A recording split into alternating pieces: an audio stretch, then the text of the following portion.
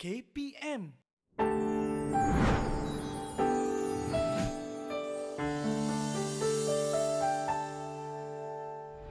Hai, Assalamualaikum. Apa khabar cikgu-cikgu semua? Ah, Saya Azizur Rahman Haji Samian, rakan kaunselor anda akan berkongsi berkaitan satu tips yang menarik berkaitan tentang aplikasi psikologi dalam PDPR dan semestinya dalam rancangan kaunselor anda Didik TV KPM. Ah, apa yang menariknya? Terpanggil saya untuk berkongsi ini apabila uh, guru-guru semua yang terlibat dalam PDPR ketika ini pastinya mempunyai pelbagai uh, masalah atau situasi berhadapan uh, pengajaran dan pembelajaran cara baharu ini. Ah, Dan yang penting, sokongan ibu bapa dan murid-murid ketika ini sangatlah penting. Jadi untuk itu, kita sajikan pendekatan psikologi bagaimana menarik minat murid untuk terus mengikuti PDPR dengan berkesan ketika ini.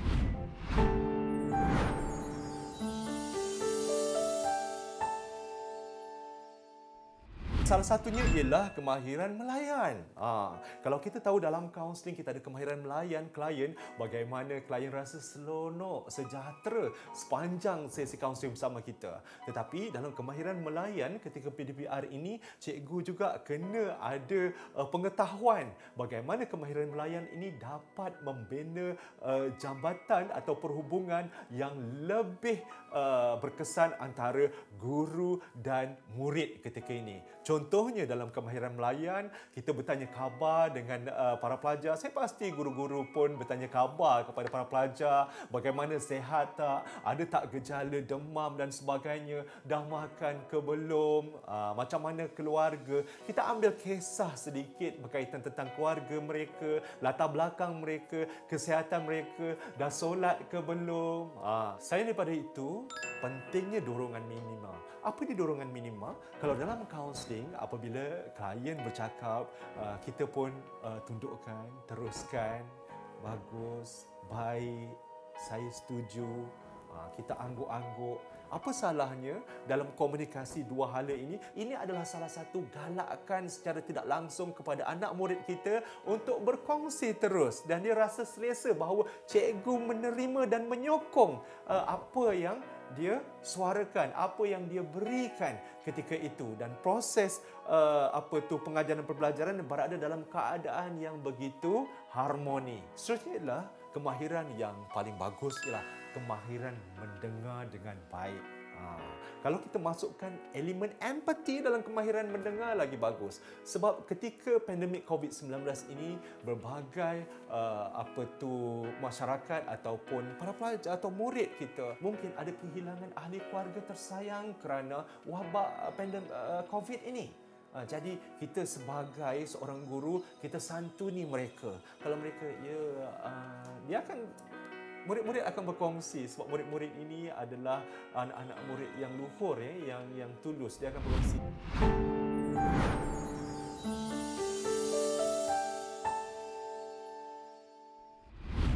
kita bagi motivasi? Mestilah boleh. Kerana rangsangan daripada guru, motivasi daripada guru ini dapat meningkatkan semangat mereka untuk terus mengikuti PDPR. Saya kongsikan dalam motivasi ini ada dua. Satu ialah kita katakan motivasi intrinsik. Yang kedua adalah ekstrinsik ataupun kita kata motivasi luaran ya, ekstrinsik. Dalam motivasi intrinsik ini contohnya anak murid kita ni tak suka seni, Ha, tak suka seni. Dan setiap beberapa kerja seni mereka tak akan buat. Tetapi kalau seandainya cikgu daripada hasil seni tersebut cikgu buatkan video pendek, cikgu tunjukkan bintang, mak bagi star-star sikit light-light digital and cikgu tunjukkan sebelum mengajar, okey cikgu nak umumkan uh, apa tu uh, keputusan terbaik hasil kreatif seni anda. Ha, cikgu keluarkan bagi bintang itu kita kata ganjaran kita bagi. Ah, walaupun bintang, walaupun star, walaupun grade, walaupun peratus, dia sudah berbesar hati. Wow, dapat tiga bintang. Bintang bintang pula digital datang satu-satu gemelapan. Anak pula darjah tiga, darjah dua, darjah satu lagi dia suka. Dan dia akan berusaha lagi untuk menghasilkan hasil seni yang lebih baik pada masa akan datang. Tetapi kalau seandainya anak murid kita mempunyai kemahiran atau mempunyai kita kata minat atau motivasi intrinsik. Intrinsik ni makna motivasi semula jadi dalam diri dia. Dia memang suka seni. Pantang dapat kertas lukisan dia akan lukis dan hasil dia pun cantik.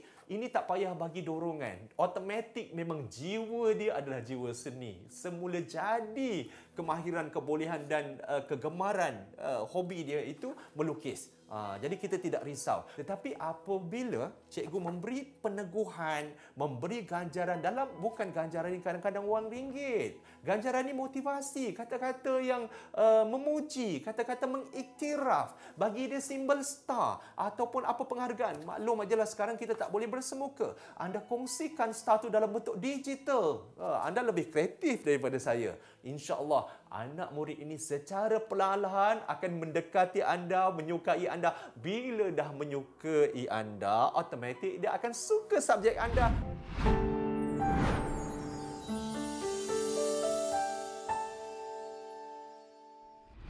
Ganjaran ini cikgu bukan sahaja yang saya ulang tadi ialah benda-benda berharga tetapi markah pengiktirafan, penghargaan, pujian itu yang tak menggunakan wang itu memberi impak ataupun implikasi yang besar kepada keseronokan anak murid kita.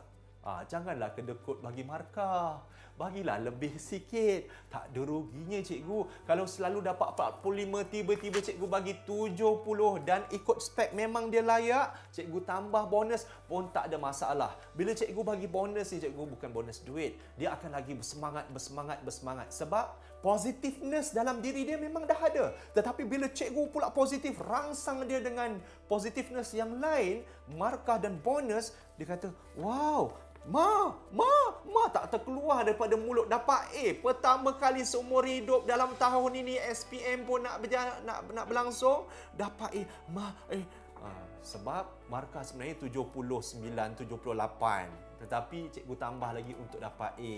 Ha, bukanlah saya kata tidak jujur, tetapi ketika ini mungkin dalam ujian-ujian ujian percubaan ataupun bulanan ataupun latihan-latihan paling uh, senang latihan-latihan yang cikgu buat sendirilah cikgu berilah. Insyaallah dia punya impact dan uh, kesan respon pelajar ataupun murid kepada kita lain macam cikgu. Ha tak pernah WhatsApp tiba-tiba, cikgu terima kasih, cikgu bagi star, cikgu bagi bonus markah, saya rasa seronok. Terima kasih cikgu Azizul. Sama-sama. Kita pula jawab, sama-sama. Saya tengok awak boleh belajar dan awak telah menunjukkan perubahan. Pelajar tu pun satu hari makan tak lalu, tidur tak nyenyak, seronok dapat puji. Maklum ajalah puji pula cikgu yang paling tegas dalam kelas tersebut. Apakah perasaan mereka? Pastinya dia akan mengundang perubahan tingkah laku, perubahan semangat, hasilnya. Pasti siapa yang perolehi? Pelajar atau murid yang perolehi. Tetapi cikgu juga akan dapat manfaat insya-Allah. Didik TV KPM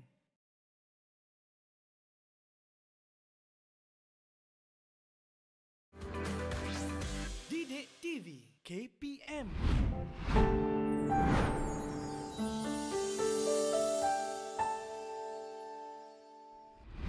Pertama sekali ialah eye contact. Ya. Kita sendiri pun yang dewasa ini, apabila kita berbual atau berkomunikasi dengan rakan kita, dia tidak pandang kita, kita pun rasa macam kecil hati kita macam apa salah aku eh ha. tetapi anak murid pun manusia yang perlukan perhatian dan kasih sayang sebab Carl Rogers menyatakan salah satu uh, pakar psikologi dia kata setiap manusia boleh berubah setiap manusia boleh berjaya setiap manusia boleh belajar kita hendaklah ikhlas jujur dan memandu mereka ke arah kejayaan jadi tuan-tuan dan puan gunakanlah eye contact bila berkomunikasi dengan anak murid kita, oh, Safina faham? Oh, faham. Alhamdulillah. Cikgu suka Safina hari ni ya, cantik, pakai baju tudung warna pink, baju warna hijau, uh, nampak ceria. Ha, cikgu semangat. Bila kita puji, kita teguhkan dengan menggunakan eye contact, anak murid kita pun lagi seronok. Eh, cikgu sayang kita. Ha, walaupun sebelum tu kat kelas kalau bersemuka, kita kadang-kadang meninggikan suara, kadang-kadang apa sahaja kertas pun kenapa tak buat. Tetapi dengan kaedah PDPR untuk merangsang dan meningkatkan penyertaan anak-anak murid kita, kita ubah sedikit gaya komunikasi kita. Gunakan eye contact, senyuman yang manis dan ekspresi wajah itu penting. Ha, nak berhadapan ni sebab mereka tak nampak kita tubuh gerak-geri yang lain. Hanya nampak wajah sahaja, separuh badan sahaja. Jadi, pastikan ekspresi muka itu menarik, ceria, menyambut pelajar. Ha, ini juga adalah salah satu membina hubungan kepada anak murid kita. Dan yang penting ialah nada suara, cikgu. Kontrol. Kadang-kadang kita terpaksa bermain dengan nada suara kita. Ada lelucon, kita gelak sikit. Ada tegas, kita ingat tu. Ha, ingat, cikgu sendiri pandai memainkan nada suara dalam komunikasi yang uh, apa tu berkesan dalam PDPR.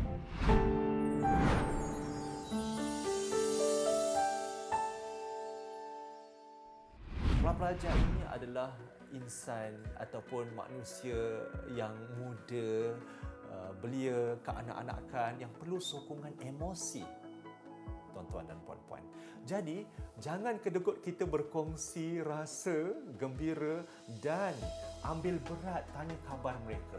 Tanya mereka bagaimana kesihatan, sebagaimana saya beritahu tadi, bagaimana tahap emosi mereka ketika itu. Gembira tak semua? Ha, hari ini cikgu nak bagi 10 rating, 0 hingga 10. Siapa yang gembira dia?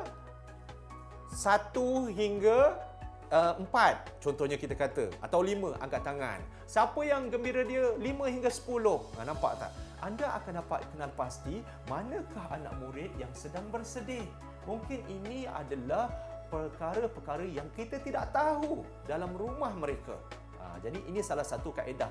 Bila kita ambil berat, kita caring ini, sebenarnya kita berjaya menawan psikologi anak murid kita untuk terus mengikuti uh, kita, pengajaran pembelajaran kita disebabkan sifat yang ada pada diri guru tersebut.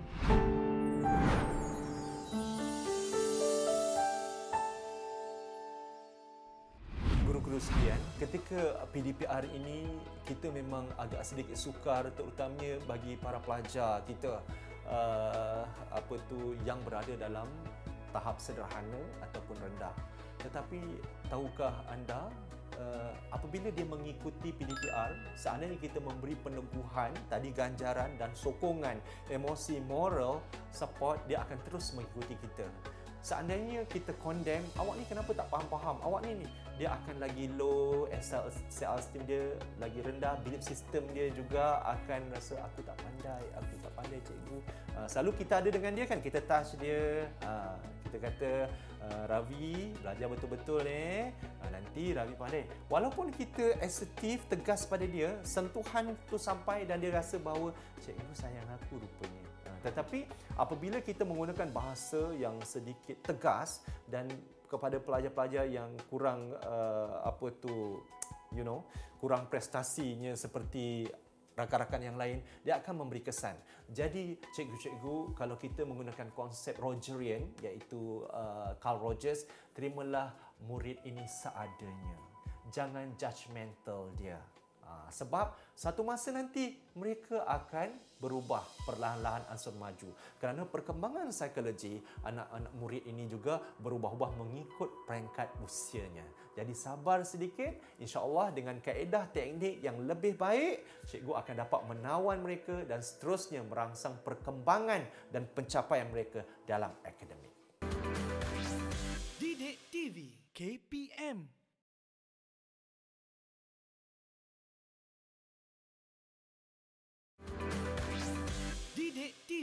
KPM.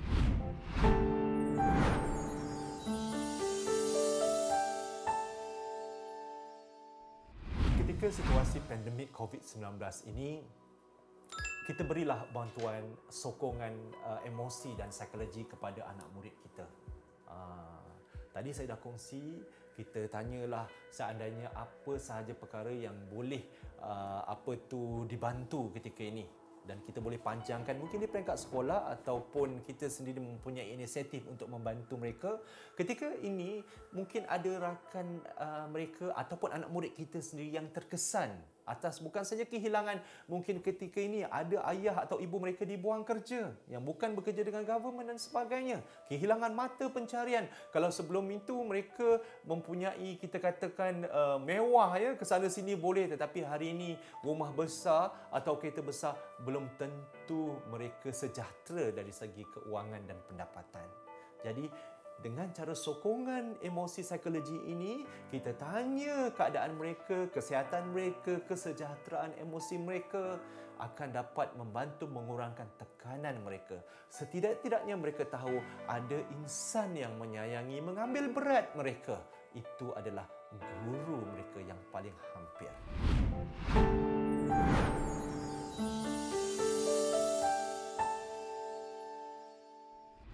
Marty Lobdell dikenali sebagai Profesor uh, Dr. Marty Lobdell ini dia mengenengahkan teknik JEDA di mana teknik JEDA ini uh, apa guru-guru sekalian apabila kita mengajar dalam masa lebih kurang hampir satu jam uh, perlu berhenti pada 25 minit pertama Apakah tujuan kita berhenti? Di situlah teknik jeda, maknanya rehat sekejap, mungkin dalam 3 4 5 minit untuk melakukan aktiviti minum air, makan sedikit, apa sahaja. Kalau seandainya kita uh, bersemuka, bolehlah kita laksanakan uh, secara mudah, tetapi mungkin secara uh, apa tu dalam talian ini kita boleh laksanakan teknik jeda oleh Mati Lobdern ini diperkenalkan atau dilaksanakan adalah untuk recharge semula otak kita yang konsisten belajar dalam waktu yang panjang. Bila otak kita recharge ataupun direhatkan sekejap, Selepas setengah jam kita sambung balik pengajaran dan pembelajaran uh, di rumah itu, otak akan dapat berfungsi dengan lebih baik. Ya? Jadi ketika teknik jeda itu rehat sekejap, murid-murid boleh buat apa sahaja perkara selain daripada aktiviti yang kita bincangkan ketika itu. Ha, kalau kita orang dewasa, kita boleh gunakan. Saya sendiri menggunakan teknik jeda oleh Marty Lobdell uh, ketika belajar Uh, mengambil master dahulu. Dan alhamdulillah 4 jam belajar konsisten pun tak penat. Uh, seronok. Uh, selepas itu uh, ulang kaji itu boleh beritahu pada pelajar uh, habis saja 30 minit tu maka saya ulang kaji balik yang setengah jam tadi. Uh, tulis balik semula ingat. Lepas tu teruskan. Begitulah setengah jam setengah jam seterusnya. Sehingga kadang-kadang mencecah hingga 4-5 jam. InsyaAllah. Ini adalah salah satu teknik yang boleh dikongsi untuk para pelajar.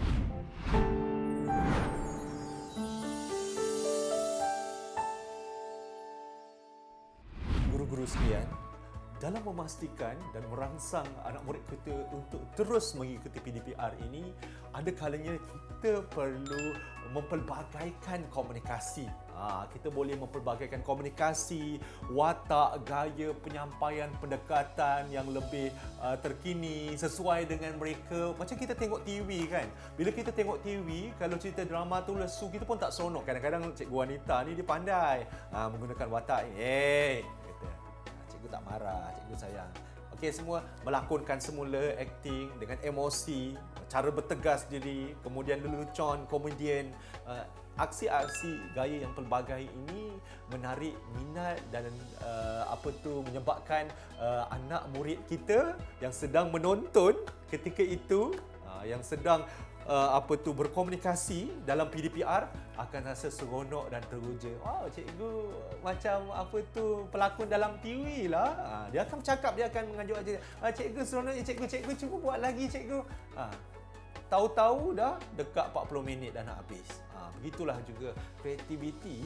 Saya rasa cikgu-cikgu telah mendapat latihan yang dulu masa di uh, IPG atau maktab atau universiti uh, dalam persediaan mengajar uh, mungkin uh, ilmu tersebut boleh dikeluarkan semula. Akhir sekali uh, kepada cikgu-cikgu sekalian, tahniah kerana telah menjayakan PDPR dengan berkesan dan perkhidmatan penyampaian perkhidmatan pendidikan kita melalui cikgu-cikgu dilaksanakan dengan baik. Hasilnya keputusan peperiksaan yang diumumkan baru-baru ini mencatat keputusan uh, dengan baik dan saya rasa itu adalah hasil air tangan ataupun kejayaan cikgu-cikgu dalam memastikan anak didik kita ketika ini di rumah yang terkesan uh, pandemik COVID-19 ini mencapai kejayaan luar biasa. Sampai kita jumpa lagi dalam rancangan Kauslah Anda semestinya dalam Didik TV KPM.